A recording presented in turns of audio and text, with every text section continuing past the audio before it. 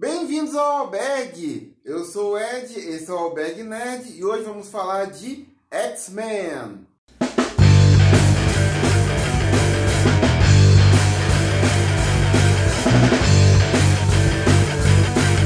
Alberg Nerd! Primeiro quero lembrar, se ainda não são inscritos no canal, para se inscreverem, ativem o sino das notificações para não perder nenhuma atualização e, claro, curtir e compartilhar esse vídeo. No ano passado começou a nova fase dos X-Men, encabeçada por Jonathan Hickman. E agora, depois de alguns meses, é hora de fazer um balanço do que eu li até o momento e se valeu a pena voltar a acompanhar as HQs. No vídeo de primeiras impressões da primeira edição, eu já tinha gostado de muita coisa apresentada ali. A nova postura dos X-Men, o estabelecimento da nação mutante de Krakoa e a nova cultura deles. Falando especificamente de House of X e Powers of X, que englobam as quatro primeiras edições dessa revista que está publicada atualmente no Brasil, eu posso dizer sem exagero que é uma das melhores coisas que eu já li dos heróis mutantes. Mesmo se não tiver interesse de acompanhar mensalmente, eu recomendo essas quatro primeiras edições para fãs antigos e até mesmo para quem nunca leu X-Men, porque é de uma grande qualidade. Sim, eu acredito que pode ter uma confusão inicial, até porque a história tem uma certa camada de complexidade, envolvendo linhas do tempo e até uns conceitos novos. Só que tudo vai se encaixando muito bem e no final faz sentido e até aquilo que não tinha ficado tão claro dá para entender. Quando acabam as duas minis do Hickman, aí começa a nova fase chamada de Aurora de X, a partir da quinta edição com os novos títulos mutantes. Se as primeiras edições elevaram a qualidade até o topo, quando começam os novos títulos cai um pouquinho a qualidade. Não que esteja ruim, é que alguns títulos acabam sendo mais do mesmo, como Novos Mutantes, por exemplo. Alguns oscilam de qualidade e nenhum chegou ao primor de roteiro das quatro primeiras edições. Os títulos até o momento são X-Men, X-Force, X-Factor, Novos Mutantes, Excalibur, Carrascos, Satânicos, Wolverine e Cable além de algumas minisséries e especiais, como Anjos Caídos, Jean Grey e Emma Frost, entre outros. Desses todos, o meu favorito é Carrascos, protagonizado por Kate Pride, já que é assim que ela quer ser chamada agora, onde ela lidera uma equipe de mutantes que viaja pelo mundo em um navio. A missão dessa equipe é resgatar mutantes de países que são hostis a Krakoa, como o Brasil, por exemplo. Sim, o nosso governo fascista e preconceituoso nos deu esse presente de sermos uma nação inimiga dos mutantes na história. O título principal, que é o dos X-Men, oscila um pouco. Tem momentos sensacionais, como por exemplo Xavier e outros membros do governo de Krakoa no encontro em Davos. Essa edição tem diálogos fantásticos, principalmente quando o Magneto toma a palavra e diz como vai ser a linha de ação de Krakoa, usando o próprio capitalismo e os seus métodos para afirmar posição e ganhar poder. Outro grande momento é o ritual do sacrifício, que mostra o que um mutante que se tornou humano, graças ao poder da feiticeira escarlate, precisa fazer para tornar-se membro da sociedade cracoana. Só que a qualidade vai um pouco para baixo nesse título, em momentos como a Ilha de Monstros ou os X-Men enfrentando as super idosas. Excalibur, embora com uma formação diferente, voltou a ter o clima lá das primeiras histórias, com bastante viagem interdimensional e magia. E é um título que tem me agradado. Já X-Force, X-Factor e Satânicos tem muito a ver com o que está acontecendo em Krakoa.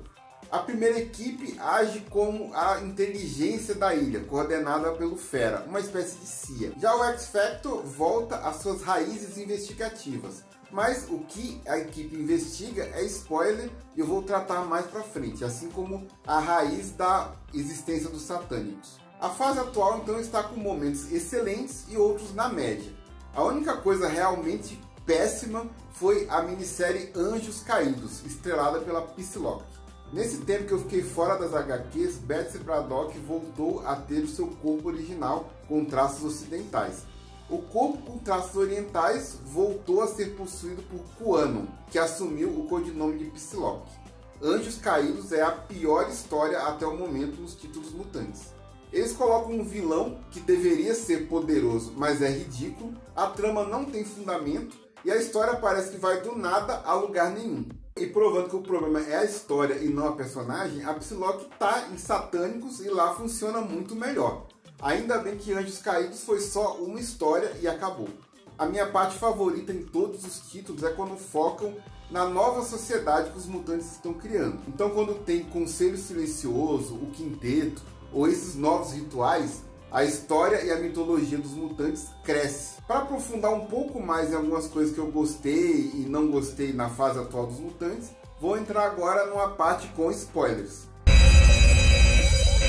Voltando para as minisséries que abriram essa nova fase, três coisas se destacam para mim. Moira X, os protocolos de ressurreição e a abertura de Krakoa para os vilões mutantes. No caso de Moira, revelam que ela nunca foi humana, mas sim uma mutante com o poder de reencarnação. Chamar por esse nome pode causar uma certa confusão no que nós conhecemos como reencarnação. Na verdade, Moira faz uma viagem no tempo. Quando ela morre, sua consciência viaja para o passado e encarna novamente em si mesma no ventre da sua mãe. Sendo assim, Moira tem a oportunidade de reviver a própria vida várias vezes, podendo repetir decisões ou tentar coisas novas. E assim, comecei uma das melhores histórias que já li na vida. Foi uma viagem por todas as vidas que Moira teve, onde ela errou, onde tentou fazer diferente, mas deu errado de outra forma, e eu fui me maravilhando a cada virada de página. Essa mudança em Moira é um retcon, que para quem não sabe é a abreviação de continuidade retroativa, quando uma mudança atual muda a percepção de eventos passados na vida dos personagens como a maioria dos retcons não encaixa muito bem quando vamos analisar sagas passadas, como por exemplo o Magneto se aliando aos acólitos de Fabian Cortez ou a saga de Proteus. Não bate muito bem com o que é revelado agora. Uma das vidas de Moira é muito semelhante à continuidade clássica.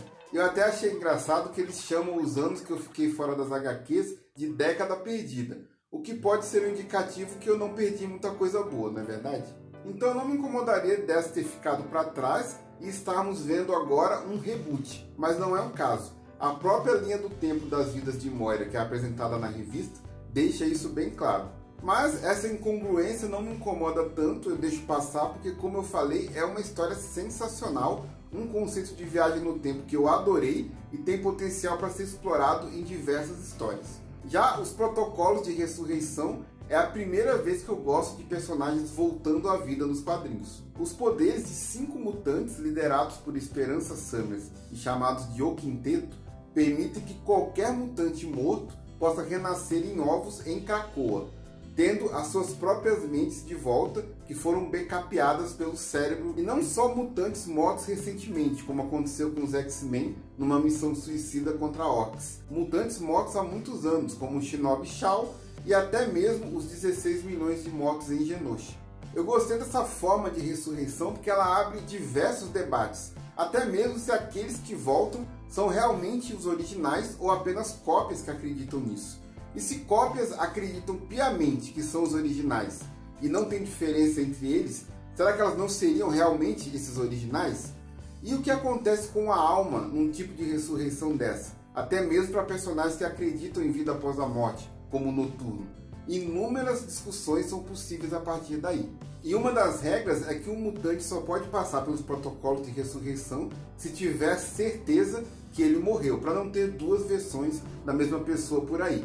É aí que entra o novo título do X Factor, liderado por Estrela Polar. A missão da equipe é justamente investigar e comprovar essas mortes. E o próprio ritual de sacrifício que eu mencionei antes é quando um humano que foi transformado assim pela feiticeira escarlate tem a oportunidade de morrer e renascer como mutante, mas só consegue isso ao passar por um ritual, uma luta até a morte contra o apocalipse. E já que eu mencionei ele, a abertura de Krakoa para os vilões é um divisor de água na vida dos heróis mutantes. Enquanto na utopia de Ciclope os vilões não eram bem-vindos e na Genosha de Magneto os inimigos eram os X-Men, a proposta de Krakoa é outra: união e um novo começo. Então todos os antigos inimigos mutantes dos X-Men têm o seu lugar em Krakoa, inclusive no Conselho Silencioso, que é o governo da ilha. O Conselho Silencioso é formado por Charles Xavier, Magneto, Apocalipse, Jean Grey,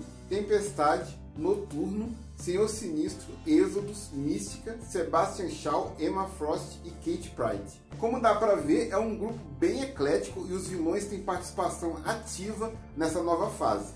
Emma Frost tem a sua guerra fria contra Sebastian Shaw no título dos Carrascos, com a Kate Pride ali entre eles, e Apocalipse tem grande participação no título Excalibur.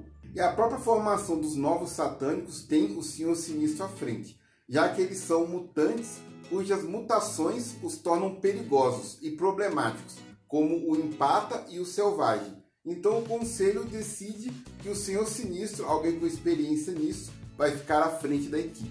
Uma decisão péssima do conselho, ao meu ver, seria como deixar o Ministério do Meio Ambiente na mão de um partidário do agronegócio ou o Ministério da Saúde na mão de um general. Meu único incômodo com a fase atual acabou sendo os protocolos de ressurreição. Não por eles em si, porque achei inteligentes, como falei, mas acabou banalizando as mortes. Toda missão agora é fatal, parece que em cada história tem que morrer alguém. Então o balanço é de uma fase que tem valido a pena acompanhar.